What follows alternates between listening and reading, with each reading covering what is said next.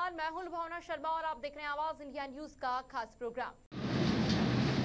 सात गारंटी दी। कल एक सवाल आया था, आप ही लोगों में से, कि ये गारंटी शब्द आपने क्यों रखा है? हमने इसलिए रखा है कि भारतीय जनता पार्टी और विशेषकर श्री नरेंद्र मोदी ने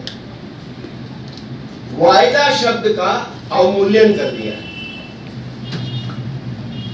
और उसके साथ साथ उसका अर्थ खत्म हो गया।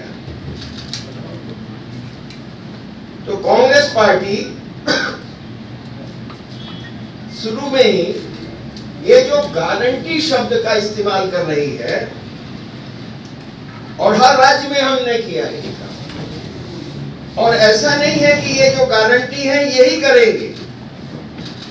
ये एक डायरेक्शन है हमारा, कि कांग्रेस पार्टी की सरकार किस दिशा में जाएगी। और हमारी सरकार बनती है तो हम सबसे पहले इन बिंदुओं को पूरा करने का काम करेंगे। और ये हमने कर्नाटक में किया, ये हमने छत्तीसगढ़ में किया, और करके बताया। इसीलिए जब हम गारंटी देते हैं, उसके पहले सारे फाइनेंशियल इंप्लीकेशंस के बारे में विचार कर लेते हैं। क्योंकि जो राजनीति की विश्वसनीयता है, श्री नरेंद्र मोदी के राज में वो लगातार गिरती जा रही है। अब हमारा डायरेक्शन क्या है? और ये चुनाव क्यों महत्वपूर्ण? है ये चुनाव सिर्फ़ राजस्थान के लिए नहीं, पूरे देश के लिए महत्वपूर्ण है। और ये चुनाव खाली सरकार बनाने और बिगाड़ने की के का चुनाव नहीं है। क्योंकि राजस्थान की सरकार कांग्रेस सरकार ने अशोक गहलोत के नेतृत्व में मॉडल ऑफ़ गवर्नेंस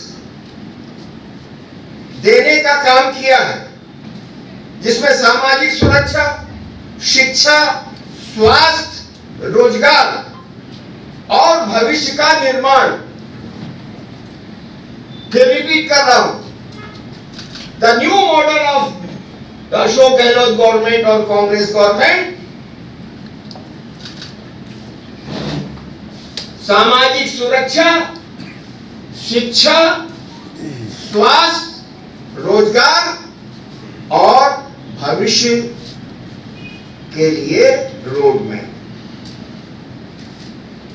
इसीलिए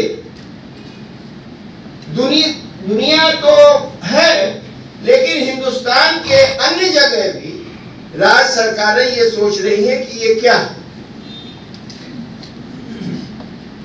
तो अगर हम राजस्थान में इस मॉडल को लेकर चुनाव जीतते हैं तो यकीन मानिए, देश के अंदर भी यह मॉडल स्वीकार किया जाएगा। और अन्य राज्य भी इसको स्वीकार करेंगे। लेकिन भारतीय जनता पार्टी को इन सब चीज़ों से कोई मतलब नहीं। मोदी जी कह रहे हैं, हमारे चेहरे पर दो कमल पर दो वो इतने समय से दे रहे और बीजेपी का जो मॉडल है, वो है लूट और झूठ का सरकार मॉडल कोई विजन नहीं आया उनका। भाई, आप प्रधानमंत्री हैं, आप कह रहे हैं कि मैं गारंटी देता हूँ। तो अब तक कोई दूसरा प्रधानमंत्री था क्या? इस देश के अंदर जितनी बदहाली है, परेशानी है, उसका कारण मोदी सरकार की जन विरोधी और पूंजी पर, पूंजीपति परस्त जो नीतियाँ हैं, उसकी वजह से आज कठिनाई। यानी सरकार जनित तकलीफ़ आज इस देश की जनता को हो रहा है। और इसमें हर वर्ग बधा है। महँगाई की चर्चा क्यों नहीं होगी? क्यों महँगाई? हमारे समय में भी महँगाई होती। यानी उसमें, यानी हम अगर केंद्र की सरकार में रहे या राज्यों की सरकार में रहे।